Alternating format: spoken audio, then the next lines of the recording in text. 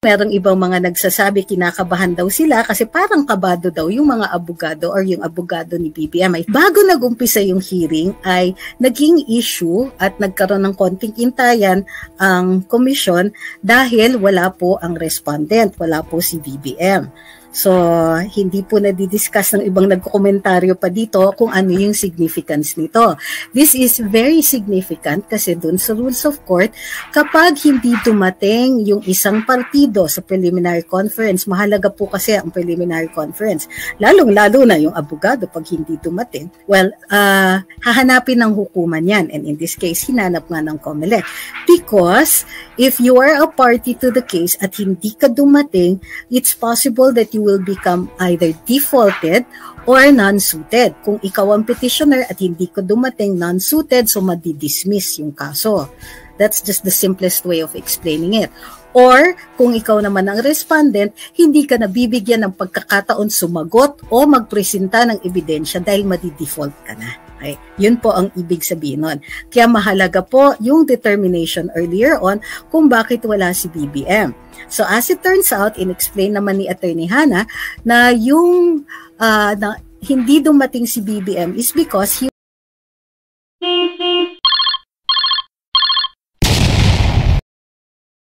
in isolation dahil siya ay na-expose sa dalawang tao na nag-test positive for COVID. Among them, his spokesman, Attorney Vic Rodriguez, at yung kanyang security. Pareho po sila nag-positive so he had to go into isolation. Dahil hindi siya maipakita sa Zoom, hinanap siya talaga ni Cobb Guanzon kung pwede daw kahit magpakita siya doon sa ano sa Zoom, uh, tatanggapin na niya yon Hindi na siya ma-default ma or anything like that. Pero instead, they submitted a medical certificate to justify kung bakit kahit sa Zoom hindi siya pwede. And in this case, mukhang on its face, tinanggap naman ni Com Guanzon yung medical certificate which was sent electronically. Okay?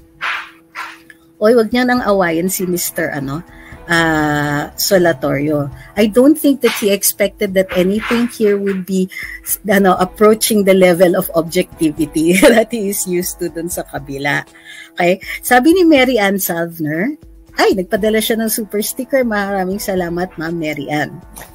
Okay? So, uh, doon sa stipulation sa fact, medyo mahaba ito. Although, maraming instances na napagalitan ni Com Guanzon yung mga lawyers. And let's deal with that one first.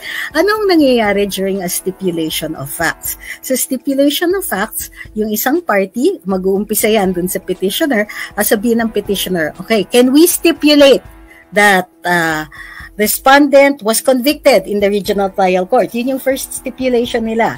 Agree. Sabi, sabi nung una, nag-hesitate yung ano, uh, counsel for the respondent, pero ultimately, inadmit naman nila yung conviction at the regional trial court. Um, nung una kasi, nung nag-hesitate si respondent, napagalitan ni Com Guanzon later on, si yung attorney for petitioner Akbayan.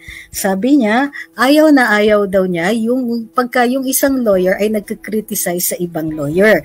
Kasi parang uh, nag-attempt yung counsel ng Akbayan na eh, ganito naman yun eh. Bakit hindi pa kayo umamin? Parang ganon. Ganito, kasi pag sa stipulation of facts, sasabihin lang ng isang partido, o ito yung ano, for stipulation, pwede lang sabihin, ang sasabihin lang ng respondent, uh, we will admit that fact, or we will uh, not admit that fact. Pag not admitted, kailangan pa nilang patunayan. Pag admitted, no need na patunayan. Usually, mag admit yung parehong party dun sa isang stipulation of fact if it works in their favor. O, kasi pagka it doesn't really work in their favor, bibigay mo yung burden dun sa party na but patunayan muna nila yung fact na yun bago nila i-argue na mayroong offense dito. Okay? So, uh, eto, So, uh, yung isang stipulation was uh, ano yung first stipulation yan, normally ito sa ano, preliminary conference. The first stipulation pertains to jurisdiction. So, uh, sinasabi ng petitioner, we admit the jurisdiction of the COMELEC. So, in this case, lahat naman aminado. So, sinabi ng respondent, we admit the jurisdiction of the COMELEC. Wala namang ibang ahensya or hukuman na may jurisdiction dito. Dati kasi kapag merong ano, uh, it depends on the stage of the election, uh, kapag uh, be, below a certain level, halimbawa barangay, hindi po yan sa COMELEC necessarily ililitis kung hindi sa MTC or sa RTC. So, uh, in this case, there is no issue on jurisdiction. So, pumayag yung lahat ng partido na may jurisdiction ng COMELEC not only over the persons, the parties themselves, but also over the issue na inaharap nila at pinapalitis doon sa ating COMELEC. Yung sa second, uh, ang stipulation ng kabila was uh, council for, oops, meron ako na skip.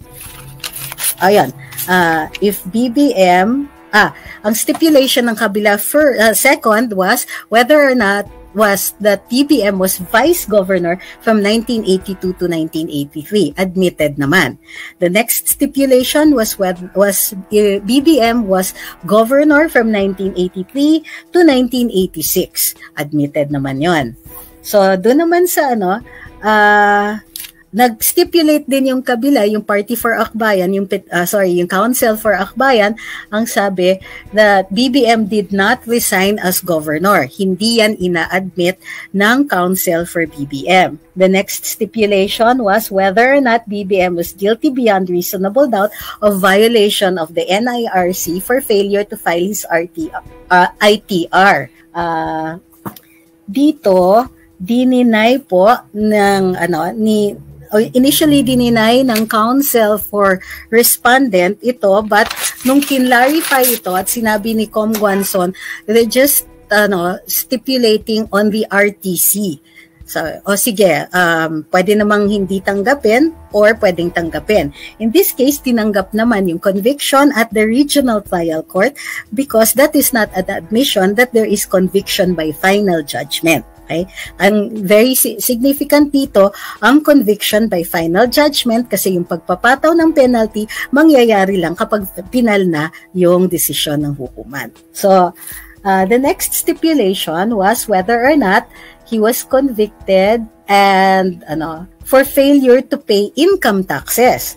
Uh, ang sabi ng counsel for respondent, we admit but we stipulate that he had appealed. So sinasabi ni Kong Gonson, all right, it's admitted but you can stipulate later on about what happened in the Court of Appeals. So uh, next, um, the pinapastipulate ng petitioner na nags ano na kasama dun sa sentensya niya ay imprisonment of 3 years. So sabi ng respondent, hindi namin i-admit yan. So ibig sabihin, kailangan ng patunayan yung fact na yon ng mga abogado for the petitioner. So maraming salamat kay Arafat Pukaan para dun sa iyong ano super chat.